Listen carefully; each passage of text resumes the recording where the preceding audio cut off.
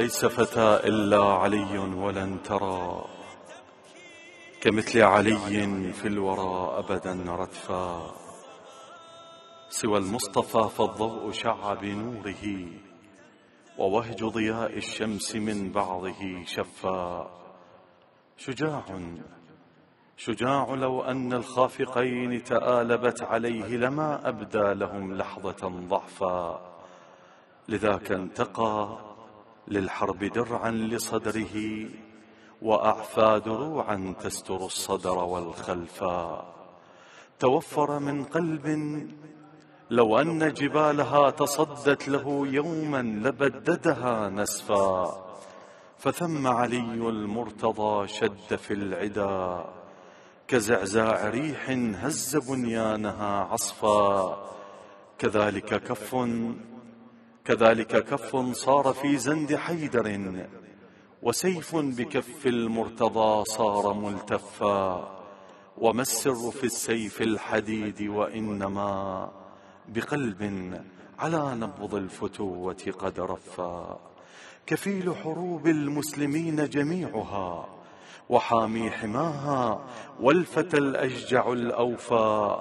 ففي يوم بدر قد طوى سيفه الوغى وفي أحد كان الوحيد الذي وفى وفي خندق الخوف الرهيب لوحده مشى نحو عمرو بعد أن ملئوا خوفا فزف إليه ضربة حيدرية فزف إليه ضربة حيدرية ورد على أعقابها جيشه خوفا. وفي خيبر لما استجارت بخوفها قيادات وارتدت على أعقابها رجفا تناولها من كف أحمد راية بكف على العزم السماوي قد لفا. فطار بها فطار بها والزحف تلهث خلفه وعاد بها والنصر يصحبه ردفا. رقى رقى رقى فارتقى متن المكارم والعلا. علي علي ويكفي اسم العلي له وصفا. علي ويكفي اسم العلي له وصفا. اللهم صل على محمد وآل محمد. السلام عليك يا أبا عبد الله وعلى الأرواح التي حلت بفنائك. عليك مني سلام الله أبدا ما بقيت وبقي الليل والنهار. ولا جعله الله آخر العهد مني لزيارتك. السلام على الحسين وعلى علي بن الحسين وعلى أولاد الحسين وعلى أصحاب الحسين وعلى أخيه أبي الفضل العباس بن أمير المؤمنين ورحمة الله وبركاته. السلام على سيدتنا ومولاتنا الحوراء زينب عليه السلام. سلام عليك سيدي يا مولاي يا فرج الله يا صاحب الزمان. اللهم عجل في فرج مولانا سيدي ومولاي صاحب العصر والزمان. يا الله يا الله يا الله. سلام من الله عليكم إخوة الإيمان في ليلة الجمعة المباركة الشريفة. الليلة الطيبة الكريمة التي يمن الله بها علينا بالكثير من الأرزاق ولعل الرزق الأكبر أننا نوفق لزيارة سيدي ومولاي أبي عبد الله الحسين عليه أفضل الصلاة والسلام وفي كنفه سيد الإباء سيدي ومولاي أبي الفضل العباس صلوات الله وسلامه عليه. ولهذا اليوم سوف أتطرق إلى قضية تخص أبيهم صلوات الله وسلامه عليه أعني به ذلك العملاق الخالد ذلك الرجل الذي لم ينجب الزمان مثله بعد رسول الله صلى الله عليه وآله ذلك هو علي بن أبي طالب عليه السلام. لعلي عندما أدخل في الكثير من المواقع التي تتحدث عن الشبهات وتتحدث عن آه، القضايا الخاصة بمذهب أهل البيت.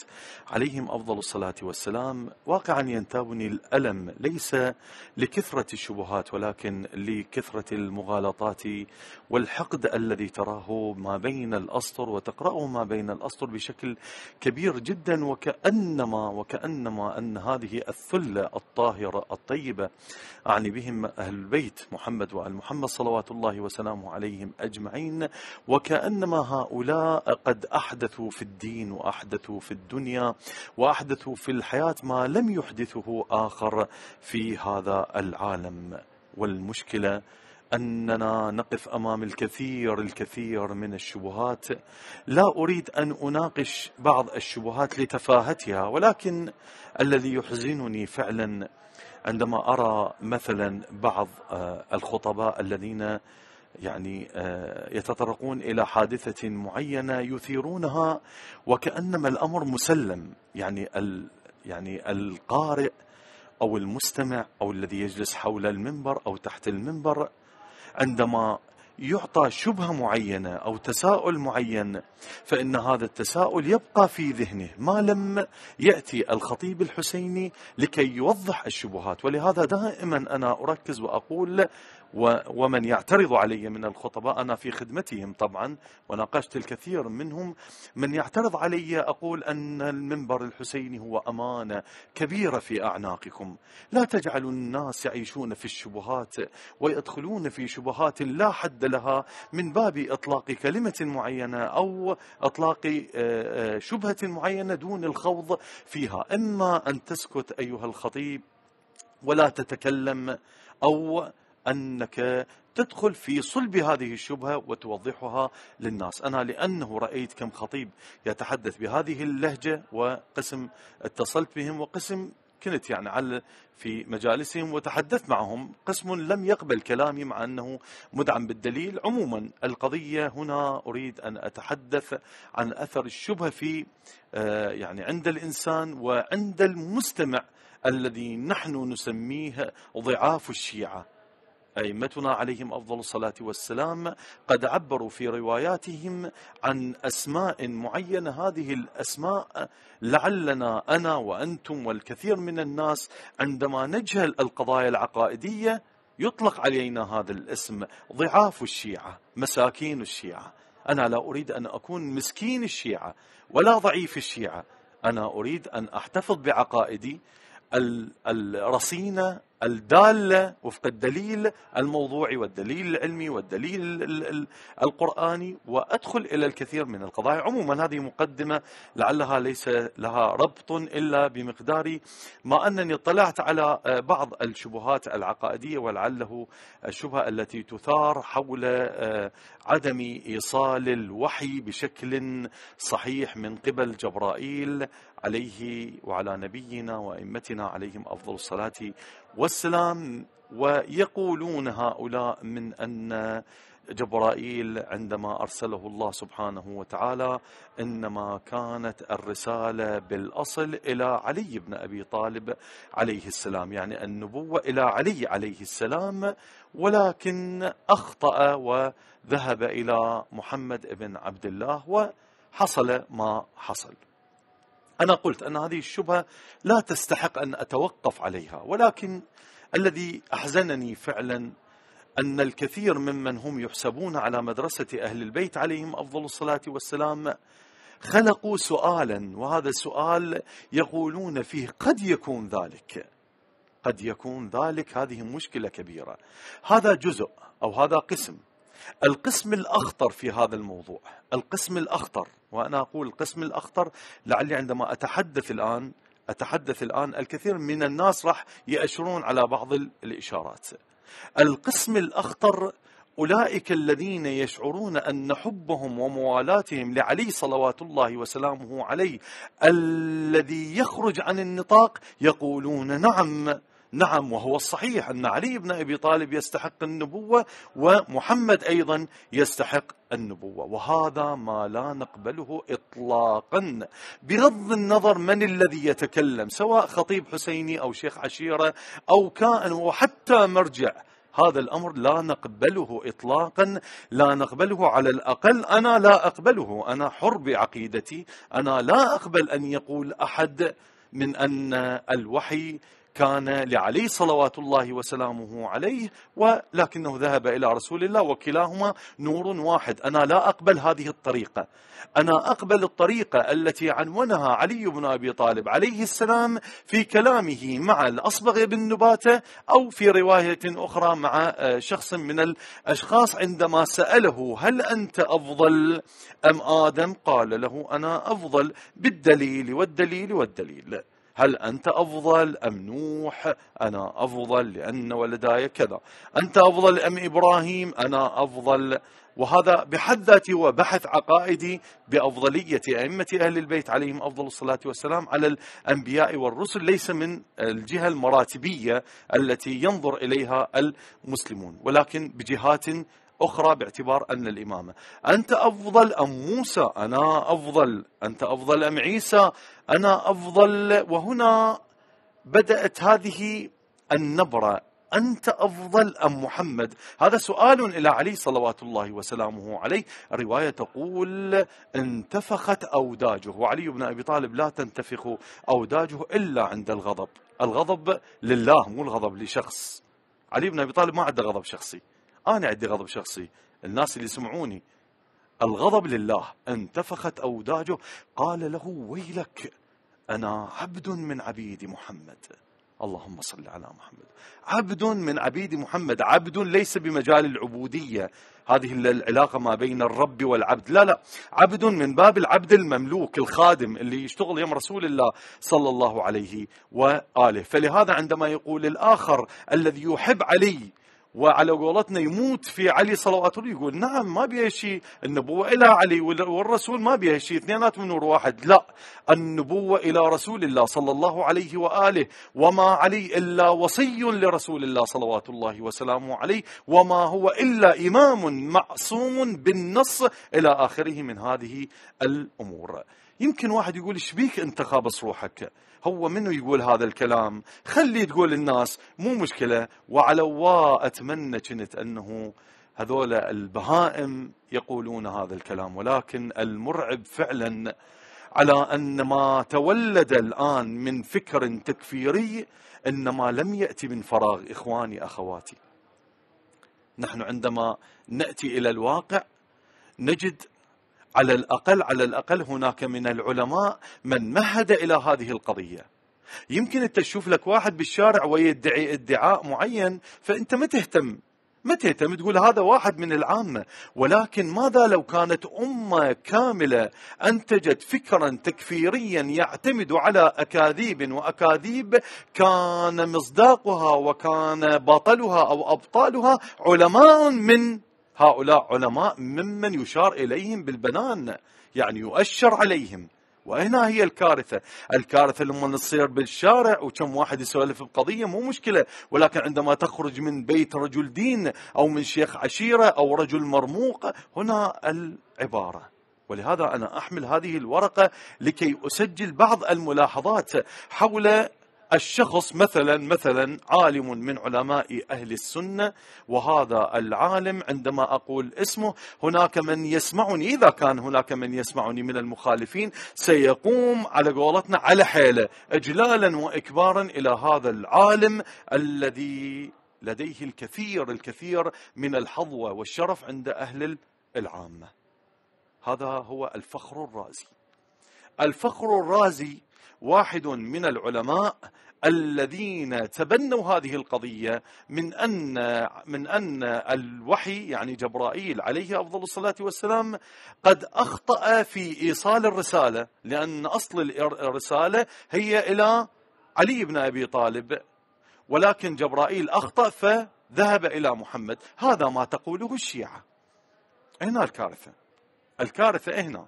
هذا ما تقوله الشيعة. طبعا الشيعة أنا بلفظي وإلا هم يقولون هذا ما تقوله الرافضة. يمكن واحد يقول لي أوقف أبو آيات أنت كل مرة تجيب لنا شغلات ولا دليل ولا كذا ما تقول لي تمنين هذا نجيبين ثانيا أنا أطالبك بدليل أبو آيات لازم تعطيني دليل. إذا ما تعطيني دليل أنا ما أعتبر كلامك وإلا أي واحد يقدر يتهم وكذا وينتهي المسألة. نعم أنا بخدمتكم. إن شاء الله الدليل موجود. ولهذا عندما يقول مثلا على سبيل الفرض الفخر الرازي يقول أن الآية لا يمسه إلا المطهرون إنما استبعدت الرافضة. لماذا؟ لنجاستهم. هذا في التفسير الكبير الجزء العاشر الجزء العاشر الصفحة 433 التفسير الكبير للفخر الرازي. الجزء العاشر 433 دار إحياء التراث طبعة بيروت 1995 يقول على أنه لا يمسه إلا المطهرون إنما يعني بهم لا يمسه الرافضة لأنهم نجس.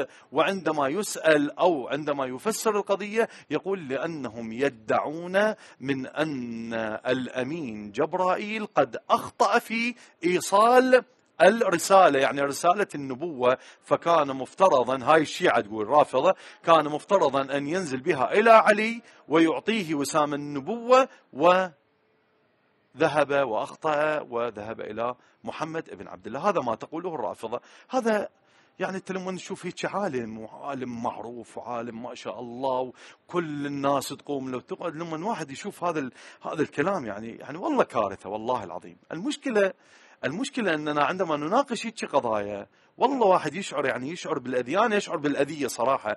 انه أقول ليش يعني؟ ليش أنه توصل يوصل الحقد على أهل البيت إلى هذه الدرجة؟ عموما هسه هاي آه، مو مشكلة. عيني القرطبي المالكي في تفسيره الكبير أيضا يدعي ويقول أن ما نزل به جبرائيل ما نزل به جبرائيل هكذا تقول الرافضة.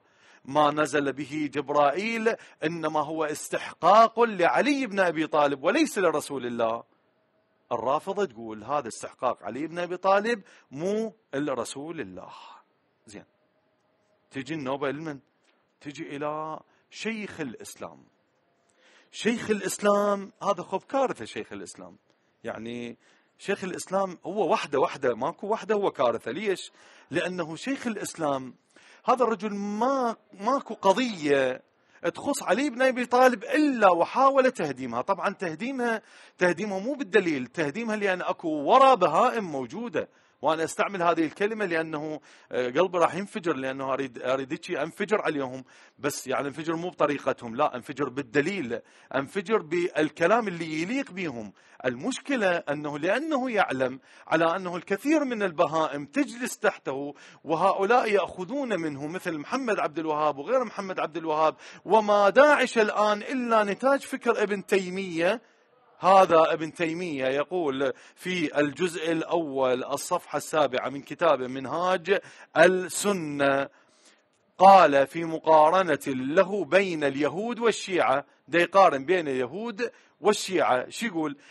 واليهود هكذا يقول واليهود تبغض جبرائيل وتقول هو عدونا من الملائكة وكذلك الرافضة يقولون أخطأ جبرائيل بالوحي على محمد وكان من المفترض أن تنزل الرسالة على علي. زين.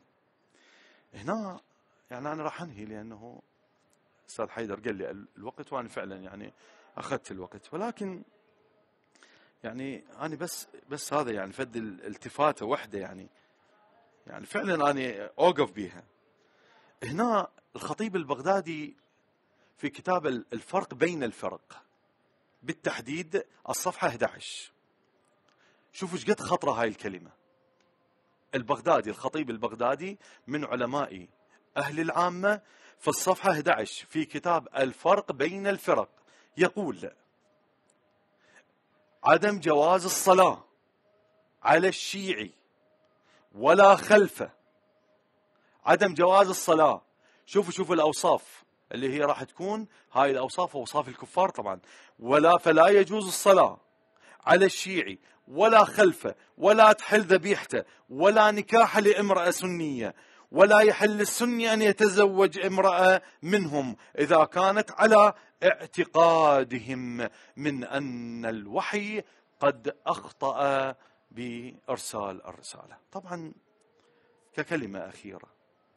المشكلة أنه هنا يعني اللي يقول هذا الكلام طبعا إحنا نريد دليل واحد من كتبنا أنه قايلين هذا الكلام. طبعا ماكو.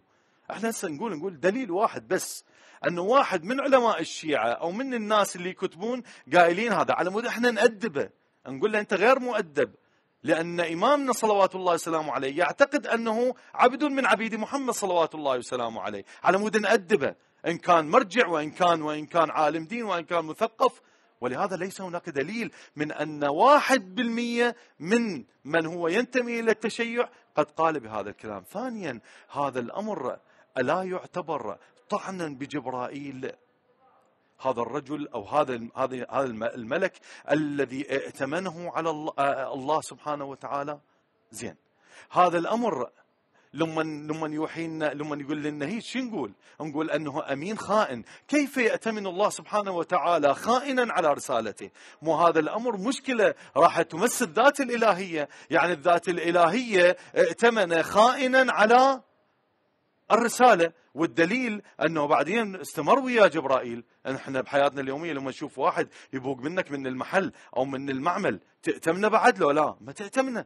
أصلا ما تأتمنه فكيف ائتمن الله سبحانه وتعالى جبرائيل على نزول يعني بقى ينزل بقى ينزل على رسول الله وهو خائن كيف رسول الله ثانيا كيف أن رسول الله قبل بحق ليس له إذا رسول إذا هي رسالة نازلة على علي بن أبي طالب، رسول الله شلون سكت على حقه؟ هو مو رسول الله، شلون سكت على حق اغتصبه؟ لأنه رسول الله هنا مغتصب.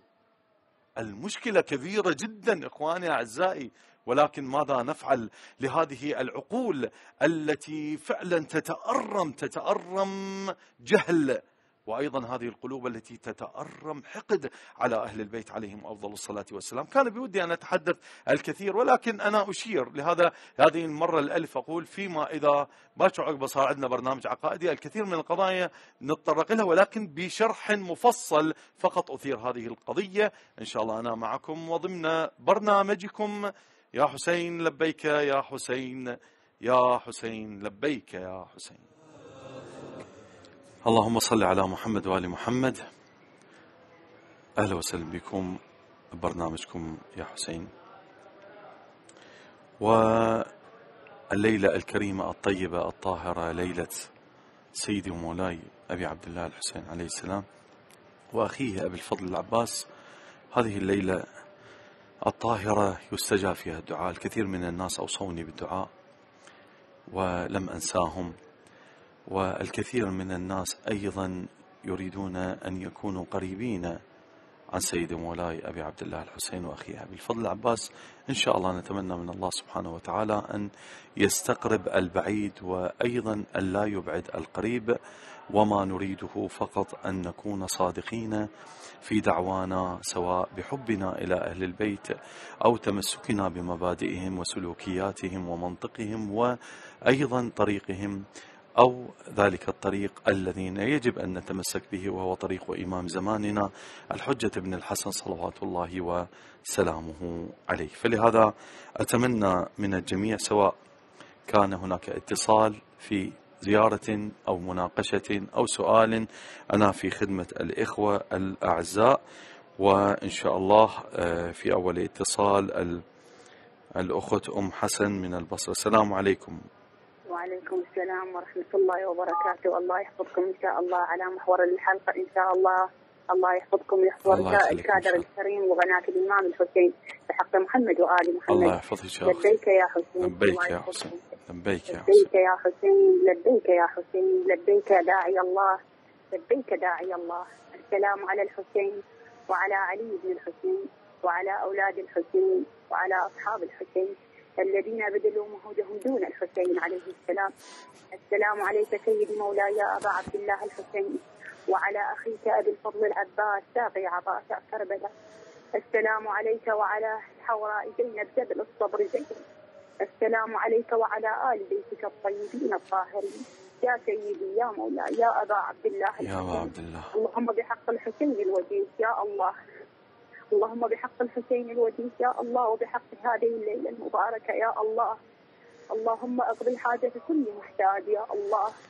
من المؤمنين والمؤمنات في مشارق الأرض ومقاربها بحق الحسين وبحق آل الحسين. يا الله. إن شاء الله. اللهم وفقنا اللهم وفقنا ووفق شبابنا بما تحب وترضى. يا الله بحق الحسين يا الله وبحق آل بيت محمد. إن شاء الله. اللهم اجعلنا قرباء من آل بيت محمد. يا الله.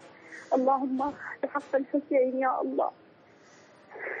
انصر شيعة الحسين. يا الله. يا الله.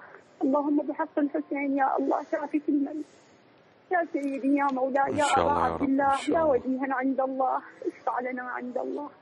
اللهم بحق الحسين الذي جعلته رحمة العالمين يا الله. اللهم عندي حاجة وأريد نظرة منك سيدي مولاي يا أبا عبد الله. تقضيها وتقضي حاجة كل محتاج يا الله.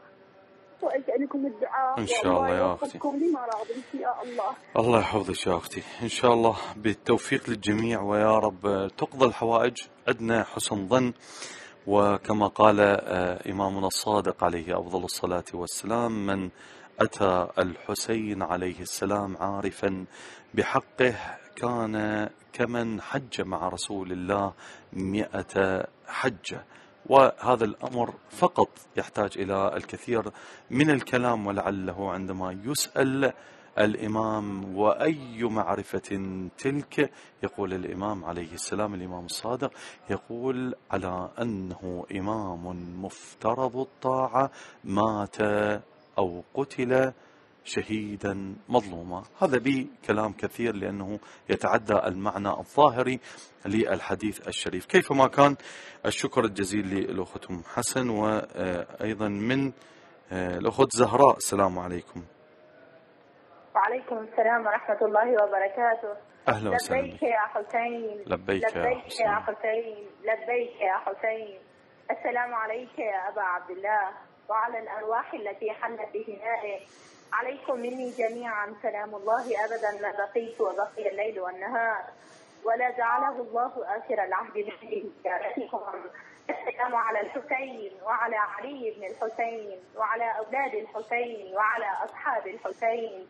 السلام على قطيع الحسين أبي الفضل العباس السلام عليك. على الحوراء زينب ورحمة الله وبركاته. اللهم صل على محمد وآل اللهم محمد. صل على محمد وعلى أستاذ مقداد شكرا لكم لدعائكم لنا بزيارة سيدي ومولاي أبا إن شاء الله يا رب. الحمد لله. وتشرفنا بزيارته ودعونا لكم إن شاء الله. وأسألك الدعاء لي ولوالدتي ولجميع أهلي إن شاء الله. وشكرا جزيلا. الحمد لله لبيك يا. حسين. لبيك يا لبيك حسين. يا حسين. لبيك يا حسين. لبيك يا حسين إن شاء الله بالتوفيق لكل زوار المولى أبي عبد الله وأخي أبي الفضل العباس وأيضا إن شاء الله نتمنى ممن كل آه، من هو بعيد أنه يكون قريب من الحسين وأنا قلت دائما كما قال إمامنا الصادق عليه أفضل الصلاة والسلام لصاحبه بعد أن رأى جفاء منه في زيارته للمولى أبي عبد الله. سلام الله عليه. قال له ما عليك إلا أن تصعد الساطح وتتوجه إلى قبر جدي الحسين وترفع يدك هكذا وتقول ثلاثا صلى الله عليك يا أبا عبد الله صلى الله عليك يا أبا عبد الله صلى الله عليك أبا عبد الله فإنك ستكون من زوار جدي الحسين وإن كنت بعيدا عن دار المقام. إن شاء الله كل من هو بعيد هو قريب من مولاي أبي عبد الله الحسين سلام الله عليه. ومن هو قريب عليه أن يكون مؤدب أمام الحسين عليه السلام وسيد الإباء أبي الفضل العباس. نعم خديجة الأخت خديجة من بغداد أعتقد. السلام عليكم ورحمة الله وبركاته. أهلا اللهم وسهلا. صل على محمد وآل محمد. اللهم لبيك صل يا حسين. لبيك يا حسين. لبيك يا سيدي يا مولاي يا أبا عبد يا الله. أبا عبد الله. السلام عليك يا سيدي يا مولاي يا أبا عبد الله. وعلى الأرواح التي حلت بثنائك عليك مني سلام الله أبدا ما بقيت وبقي الليل والنهار. ولا جعله الله آخر العهد مني لزيارتكم. السلام على الحسين وعلى علي بن الحسين وعلى أولاد الحسين وعلى أصحاب الحسين. السلام على حامل لواء الحسين أبي الفضل العباس قمر العشية ورحمة الله. وبركاته السلام على. سيدتي وولاتي زينب الكبرى ورحمة الله وبركاته اللهم صل على محمد وآل محمد اللهم صل على ولي أمرك القائم المؤمن والعبد المنتظر. وحفظه وملائكتك المقربين وأيده بروح القدس يا رب العالمين. ربي يحفظكم أخي الكريم على هذا البرنامج. الله يخليكم إن شاء الله. قدك الزيارة والدعاء لأم شاء الله. سيدة والدتي كاظمية محسن. رحم الله والديك. إن شاء الله يا رب الله. السادة سيد عقيل وسيد طارق للزيارة واثق وصادق. رحم الله والديكم. ربي يوفقكم. لخدمة محمد وآل محمد وقضى الله حوائجكم للدنيا والآخرة. إن شاء الله يا رب. بشفاعة محمد وآل محمد. إلهي. اللهم أنصر الإسلام والمسلمين يا رب العالمين. الأمان الأمان يا صاحب الزمان. سلام ينحاضر الله عليك يا سيدنا. بحق محمد وآل محمد. اللهم صل يا على حسين يا محمد وعلى حسين يا حسين. عندي طفلة صغيرة تسلم على سيدنا أبو عبد الله. إي أكيد أكيد. طيني إياها رحم الله والديك ها عمو السلام عليكم. نعم سلامنا إلى هذه الطفلة وإن شاء الله. نعم. من وياي؟ الأخ أبو فاطمة السلام عليكم أخوي أبو فاطمة. الله يبارك فيك شلون أخوي العزيز؟ الله يحفظك إن شاء الله. تحياتي لك حبيبي الله يوفقك إن شاء الله. بسم الله الرحمن الرحيم. اللهم صل على محمد. السلام على الحسين وعلى علي بن الحسين. بن الحسين وعلى أصحاب الحسين. اللهم بحق هذه الليلة المباركة وهي ليلة الجمعة. ان ترحم شهداءنا من القوات الأمنية رحمة الله من. الحج المقدس؟ رحمة الله بحق عليك محمد وآل محمد. يا الله بحق الحسين أحفظ جوار بيت الله الحرام. إلهي عام إلهي آمين وارجعهم سالمين غانمين إلى أوطانهم أجمعين إن شاء الله. إن شاء الله يا رب. إن شاء الله. حبيبي أستاذ مقداد حبيبي. أنا أقدم لك أنه دعاء خاص لي أنا في كل اتصال طبعا أنا طمعا من حضرتي. لا لا بالعكس لا بالعكس أخوي أصحاب فضل أنتم. إن شاء لا الله. إحنا خدام لا، خدام العفو. ان شاء الله. وإن شاء الله خلال خلال خلال هاي القناة المباركة. نعم. إن شاء الله نسأل الله سبحانه وتعالى ونصح أخواننا بالأجهزة الأمنية إنه الله تنهض بالمتظاهرين هذول هم اخوانكم صحيح صحيح صحيح. جاي يدعى مثل ما يدعى هو الحق أيضا جاي يدعى الحقوق أكيد أكيد والحقوق كل العراقيين. وأيضا نفس الوقت أيضا اخواننا المتظاهرين الهدوء والسكينة ونرجو منكم ان تلتزموا التزام مظاهرات حضارية إن شاء الله. ونسأل الله سبحانه وتعالى عن كل ظالم وكل فاسد إن شاء الله. إن شاء الله يا رب دعاء الناس وإن الطيبة شاء صحيح. الله وإن شاء الله هم المطرودين إن شاء الله من ولاية علي بن أبي طالب. إن شاء الله يا رب. كل من يدعي بكلام علي بن أبي طالب لا يطبق شيء منه وهو ملعون في الدنيا والآخرة. أكيد أكيد. والسلام عليكم ورحمة الله وحياكم الله. وعليكم السلام يا أبو فاطمة. والولاية ليس ادعاء وإنما عملا وسلوكا وإيمانا. وهذا ما آه، فعلا إحنا اللي اللي شفناه هسه في الكثير ممن يدعون الولاية لعلي صلوات الله وسلامه عليه. نعم شكرا أبو فاطمة. أخذ الأخ علي من بغداد. السلام عليكم يا أخ علي. ألو؟ ألو السلام عليكم أخوي. عليكم السلام. شلونك؟ أهلا وسهلا بك. حياك الله. آه، ممكن اشترك بالبرنامج؟ أكيد أكيد. تفضل حبيبي. آه، مباشر مو احكي له بعد؟ لا لا تفضل تفضل. مباشر أكيد مباشر نعم. آه. السلام على الحسين والسلام على أولاد الحسين والسلام على أصحاب الحسين والسلام على العباس. من طاعة جفين ابو الاحرار ألو؟ وياك أنا علي على مود أنت تأخذ راحتك بالكلام حبيبي. آه آه. أنا وياك وياك وسي قدامك بين الحرمين الشريفين. هذا هسه بهاي اللحظة بالذات. أنت انتقلت إلى كربلاء هسه حبيبي. نعم. اذا آه، شكرا علي وشكرا لكل الإخوة والأخوات وإحنا باقين إن شاء الله وياكم آه، نعم. اذا تحياتي إلى الجميع وأرجو أنه اليوم الطرح اللي طرحته أنه يتمعنون به الن- الناس لأنه الكثير من الأشياء المشكلة تمر مرور الكرام وأنا أكرر وأعيد على أنه الكثير من آه، يعني خطباء يتحملون المسؤولية. ليس هناك شبهة تطرحها في الم- المجلس وتمر عليها مرور الكرام. الناس يحتاجون إلى التوضيح.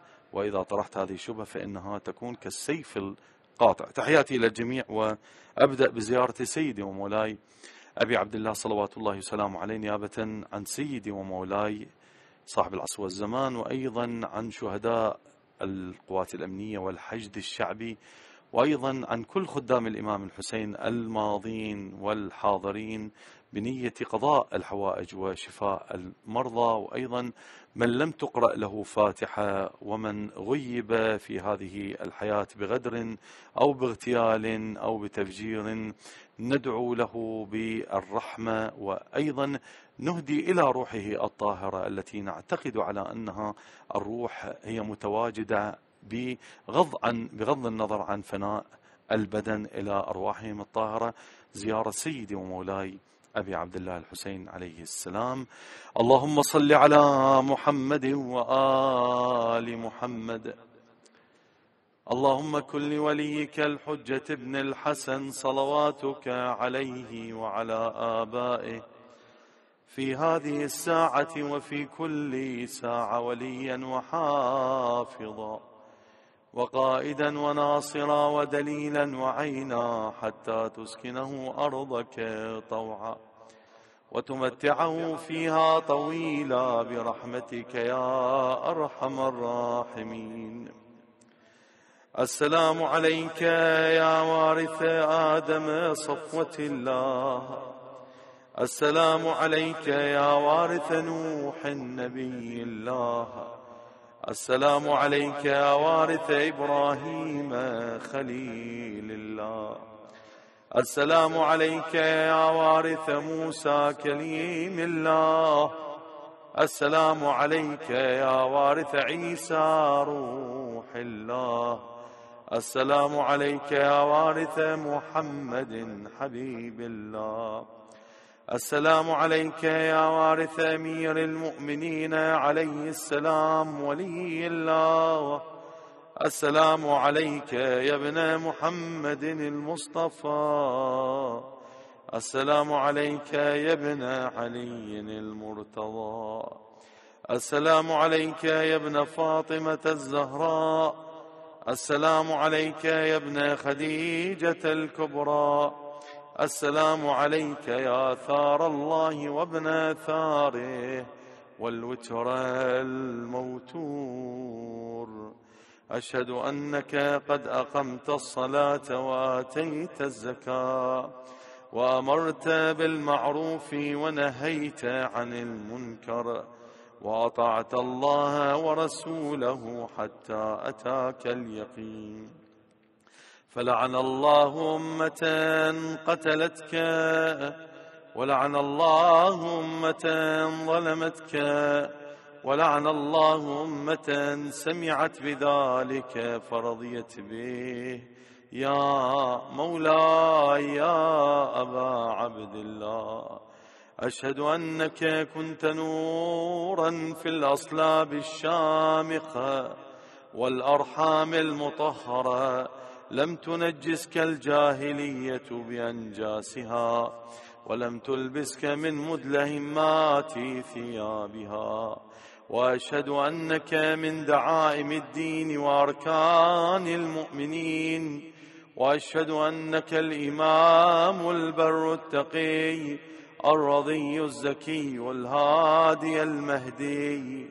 وأشهد أن الأئمة من ولدك كلمة التقوى وأعلام الهدى والعروة الوثقى والحجة على أهل الدنيا وأشهد الله وملائكته وأنبياءه ورسله أني بكم مؤمن وبإيابكم موقن بشرائع ديني وخواتيم عملي وقلبي لقلبكم سلم وأمري لأمركم متبع صلوات الله عليكم وعلى أرواحكم وعلى أجسادكم وعلى أجسامكم وعلى شاهدكم وعلى غائبكم وعلى ظاهركم وعلى باطنكم بأبي أنت وأمي ابن رسول الله